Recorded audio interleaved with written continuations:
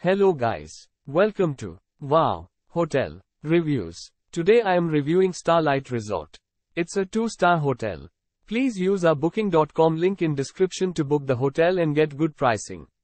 Less than 4 miles from Saugatuck Dunes State Park and the sandy beaches of Lake Michigan, the Starlite Resort features a seasonal outdoor pool and hot tub on site. A continental breakfast is served each morning. A TV with cable channels is included in each room at Starlite Resort. A small refrigerator is also provided in every guest room. Vending machines with snacks are available on site. Guests can enjoy a game of volleyball or horseshoes on the property.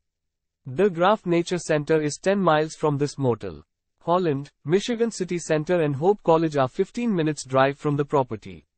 Use our link in description to get special discount on this hotel. Don't forget to like and subscribe to our channel.